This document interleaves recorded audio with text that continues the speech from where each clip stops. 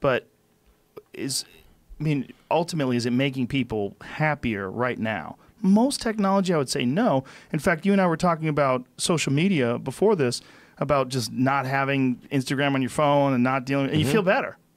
Yes, I think that one of the issues with social media that's been pointed out by many people is that um, I think maybe particularly Instagram, um, people look like they have a much better life than they really do. Right. So By design.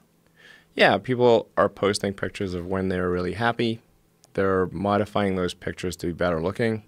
Um, even if they're not modifying the pictures, they're at least selecting the pictures for the best lighting, the best angle. Um, so people basically seem uh, uh, they're way better looking than they basically really are, Right. And they're way happier seeming than they really are. So if you look at everyone on Instagram, you might think, man, there are all these happy, beautiful people, and I'm not that good looking, and I'm not happy, so I must suck, you know, and that's gonna make people sad.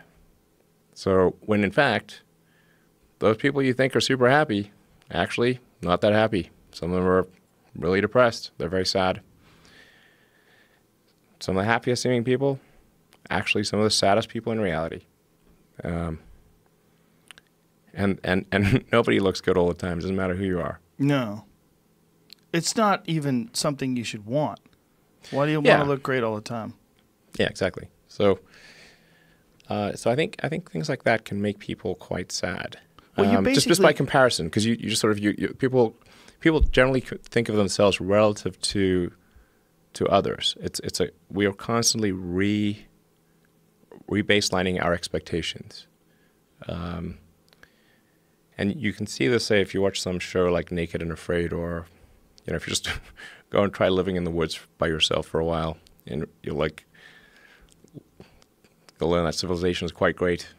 It has a lot, it's a lot of it. It's, people want to come back to civilization pretty fast on Naked What? and Afraid. Wasn't that a Thoreau quote? The comparison is a thief of joy. Yeah. Well, happiness is reality minus expectations. That's great too. But the comparison is a thief of joy really holds true to people. Is it Theodore Roosevelt. Roosevelt? Fascinating.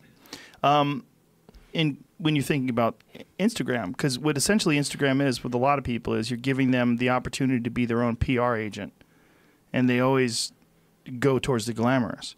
You know, and when any, anybody does show, you know, hashtag no filter, you know, if they, if they really do do that, like, oh, you're so brave. Look at you, no makeup. You know, Yeah. They look good anyway. You look great. What are you doing? Oh my god, you don't have makeup on. You still look hot as fuck. You know what you're doing. I know what you're doing too. They're they're they're letting you know, and then they're feeding off that comment section. Ooh, just a little sitting there like like it's a, a fresh stream of love. Like you're getting right up to the source as it comes out of the earth, and you're sucking that A lot of- sweet, lot of emojis. love water. It's emojis, emojis, Yeah, a lot of Weird. emojis. My my concern is not so much what Instagram is, is that I didn't think that people had the need for this or the expectation for some sort of technology that allows them to constantly get love and adulation from strangers and comments and, and this ability to project this sort of distorted version of who you really are. But I worry about where it goes. Like, what's the next one? What's the next one? Like, where is it? Is it going to be augmented? Some sort of a weird augmented or virtual sort of Instagram type situation where you're not going to want to live in this real world? You're going to want to interface with this sort of world that you've created through your social media page. Some next level thing. It's- Yeah.